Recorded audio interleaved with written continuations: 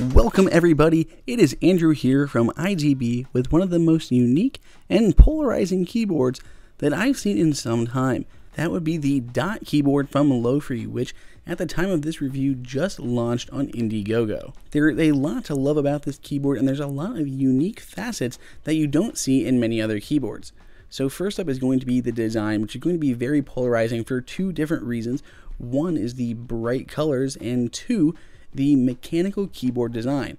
There are plenty of people out there who do not like mechanical keyboards and instead prefer the really thin chiclet style that you would see on an Apple keyboard or a MacBook or any of the Logitech ones out there. Traditionally, mechanical keyboards have more or less been made for gamers, so Windows support first. But you'll notice here, even on this side, there is a Windows support mode, but primarily it is on Mac and iOS by default. There's obviously the power toggle and a charging port there on the side. On the bottom are some pads. This is at a 6 degree angle, which is a really nice, comfortable angle for typing. As mentioned, this does support Mac first and foremost. That's why you're going to see things like the Option, Alt, and Command keys to the left and right of the spacebar. But fret not, even on the bottom of the keys, you can see the alternative support for stuff like Windows. So it's common knowledge that the Command key is synonymous with the Windows key. Now, what's going to be really important here is really how it types. And that's a big deal here, and definitely a little bit of an odd keyboard, and it took me a few days to get used to.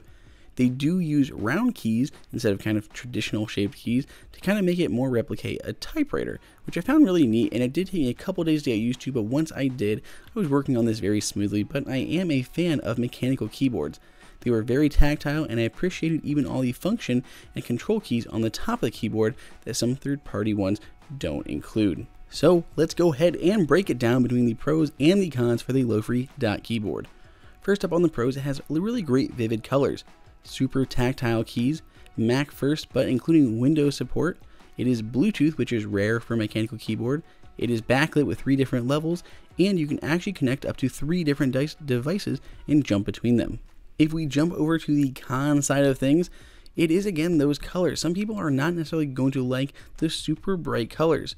There's also mechanical keys, which some people may not like mechanical keyboards, and it is starting off as a crowdfunding campaign, though it already is in production and will be shipping within a month. If you'd like to pick one up, you can get it really early for $74, otherwise around $80 on Indiegogo before it retails for $99. If you have any questions on the Lofree Dot keyboard, go ahead and let us know down in the comments below, as well as let me know what you think of this kind of retro design. It's definitely something that I kind of dig.